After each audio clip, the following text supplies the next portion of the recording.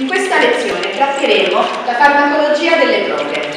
Uh, valuteremo le droghe principalmente dal punto di vista farmacologico, per l'appunto, quindi il meccanismo di azione che esse determinano, e faremo anche un po' di storia delle droghe. Uh, le droghe sono sostanze che alterano il nostro essere a tutti i livelli, a livello biochimico, in quanto alterano in tutti i metabolismi biochimici che sono alla base delle nostre cellule particolari nervose e che si riflettono a livello psicologico perché viene alterata la rappresentazione uh, mentale, comportamentale dei meccanismi cerebrali, ovvero delle funzioni delle cellule nervose e ciò compromette a nulla gli equilibri psicologici e la capacità di adattamento dell'individuo e come, questo, e come comprenderete determina anche un'alterazione a livello del, uh, sociale con conseguente uh, emarginazione dal tessuto sociale dell'individuo. Possiamo avere una classificazione delle droghe ma di tutto in relazione agli effetti. Infatti possiamo avere i stupefacenti come la morfina, la cocaina, eh, la morfina, l'eroina, la codeina. O stimolanti come la cocaina e le anfetamine, ma anche il tabacco, eh, il caffè, il tè, o anche sedativi ipnotici come le benzodiazepine, i barbiturici, inebrianti come l'alcol, o allucinogeni come l'LSD, l'ashish e la marijuana. Qui potete vedere, la prima parte da cui tratteremo sono l'oppio e i suoi derivati. La pianta che vedete rappresentata sopra è il Papadum, Papadum somniferum album, Uh, si presenta dapprima con un fiore all'interno del quale si comincia a formare la capsula che matura e qui è già maturata e vedete trasudare la sostanza lattiginosa che si estrae appunto dalla pianta dell'oppio e, e, che contiene la miscela dei 20 si chiamano alcaloidi, ovvero le sostanze attive a livello del sistema nervoso, centrale e che determinano quindi gli effetti eucorizzanti che poi sapete. Uh, Praticamente la, la pianta dell'oppio viene utilizzata da secoli, addirittura risaliamo al 4000 a.C. con i Sumeri. Uno degli effetti degli estratti dell'oppio è quello di essere sedativo della tosse, infatti va a agire sui centri della respirazione, uh, calmando la frizione alla ventilazione polmonare. E, eh, infatti molti dei decessi da overdose sono dovuti proprio a insufficienza respiratoria. Okay? Come vi dicevo, eh, già dai Sumeri nel 4000 a.C. utilizzavano la, eh, gli estratti, della, eh, gli estratti del, della pianta dell'oppio. Fin quando parliamo di pianta dell'oppio, parliamo comunque di concentrazioni delle sostanze psicoattive basse rispetto a quelle che poi verranno ottenute in seguito quando viene isolato il farmaco vero e proprio. E il farmaco principe, cioè quello che è più, eh, più comune, più famoso ad attività al, attivo a livello del, del sistema nervoso centrale è la morfina che è contenuta nella pianta dell'oppio.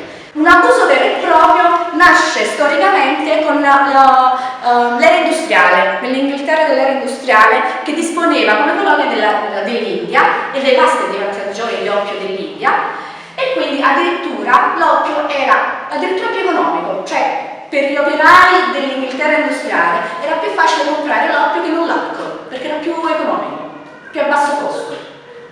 E infatti lì l'abuso, sempre di pianta grezza stiamo parlando, era molto diffuso. Fin quando poi non viene isolato il principio attivo che è la morfina, intorno all'Ottocento, e viene anche inventata una siringa ipodermica per poter iniettare la morfina endovena, che è la una delle vie è la via di elezione, di, assunzione del tale farmaco. Io parlo sempre di farmaco e come vedete lì, come vedete lì io parlo della morfina e in generale della pianta dell'oppio uh, veniva definita dai sumeri come medicina di Dio. Quando viene isolata e uh, si, viene inventata anche, dicevo, la siringa ipodermica, viene utilizzata nella terapia del dolore, per, per, per, attenuare i dolori. Povere vittime della storia, sempre quasi tutte le guerre sono i soldati che fanno diciamo, un po' da cave da laboratorio per tutti gli esperimenti. La Bayer nel 1898 uh, annuncia al mondo di essere pronta a lanciare sul mercato un nuovo farmaco uh, che, come vedete, è, viene lanciato con una campagna pubblicitaria molto uh, intensa, volantinaggio, certo per l'epoca, per i mezzi dell'epoca, volantinaggio, manifesti, venivano regalati a fiale ai medici per diffonderle. Uh, veniva presentato questo nuovo farmaco come, uh, come un farmaco che contro tutti i dolori, sedativo per la tosse e per la cura dei tossicomani. Avevano creato la diacetilmorfina, ovvero l'eroina. Il nome eroina è dovuto al fatto che la Bayer sosteneva che questo farmaco uh, curava il dolore in maniera eroica, per questo eroina, cioè a dosi inferiori rispetto alla morfina e senza indurre dipendenza. Ma che è dovuta alla diversa azione della morfina? Strutturalmente sono quasi simili, sono quasi uguali. Questa è la morfina e questa è l'eroina. La differenza sta nei gruppi che ho cerchiato. La, eh, la morfina porta i gruppi OH in queste posizioni e invece l'eroina porta i gruppi acetili, CH3CO. L'eroina abbiamo detto che è la diacetilmorfina, il suo colore può variare, possiamo avere l'eroina pura che è quella bianca ed è il sale eh, l'eroina cloroidrato, oppure l'eroina messicana, la black tar, che è questa qui che vi ero presentato qui. Uh, la, le modalità di assunzione possono essere molteplici. Abbiamo quella di elezione con l'eroina, che sapete è la miel poi però può essere anche fumata, inalata e assunta oralmente. A seconda della tipologia di farmaco, io lo chiamo sempre farmaco perché nasce come farmaco, lo abbiamo visto prima, viene lanciata dalla Bayer insieme all'aspirina, contemporaneamente la Bayer pubblicizzava sia l'eroina che l'aspirina. Abbiamo due tipi di tossicità da droghe in generale, tossicità acuta, ovvero l'overdose, e tossicità cronica, che sarà quella sindrome di astinenza. Valutiamo gli effetti dell'iperdosaggio, quindi dell'effetto della tossicità acuta. L'overdose può determinare depressione respiratoria, che può portare a morte per insufficienza respiratoria, coma perché vengono inibite le, funzioni del sistema nervoso centrale, uh, edemi cerebrali, ischemie sia cerebrale che cardiaca, depressione cardiovascolare, la sindrome di astinenza, dicevamo, invece è la tossicità cronica e si ha per la sospensione dell'assunzione abituale di droga e si può manifestare uh, lo sviluppo di sintomi come ansia, irritabilità, lacrimazione, secrezioni nasali, alterazioni sessuali, vomito, diarrea, tachicardia, aumenta il battito del cuore, ipertensione, insufficienza renale, meccanismo d'azione della cocaina e anche delle anfetamine, che è comune. Praticamente, normalmente una persona, quando riceve uno stimolo positivo, lo dicevo prima, uh, rilascia dei neurotrasmettitori di base. In questo caso parliamo della dopamina. Quando noi stimolo positivo, rilasciare, i neuroni rilasciano dopamina.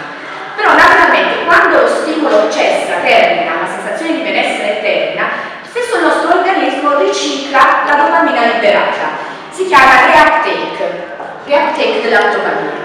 Che cosa fa la cocaina ma anche le anfetamine? Bloccano il reuptake, quindi la, il cervello rilascia la dopamina ma si accumula, non viene mai riciclato. Dalla cultura incarica era noto l'uso della cocaina e nel corso della storia si diffonde attraverso eh, i vari ceti e le varie epoche fino a quando Angelo Mariani, un uh, chimico nome dell'Ottocento, eh, pensò di sciogliere un estratto della, eh, della pianta della coca nel vino, creando il cosiddetto vin mariani. Cosa faceva questa bibita? Era una bibita tonificante, usata addirittura in medicina per combattere la depressione e ogni disturbo uh, fisico, dal mal di gola alle affezioni nervose, all'impotenza all'insonnia, dall'anemia alle febbri a morti di tipo contagioso. Uh, la cocaina può essere trovata in varie forme, sanificata con acido cloridrico, quindi sale cloridrato ed in forma di polvere, o come base libera in forma solida, il freebase, quello che è noto come freebase.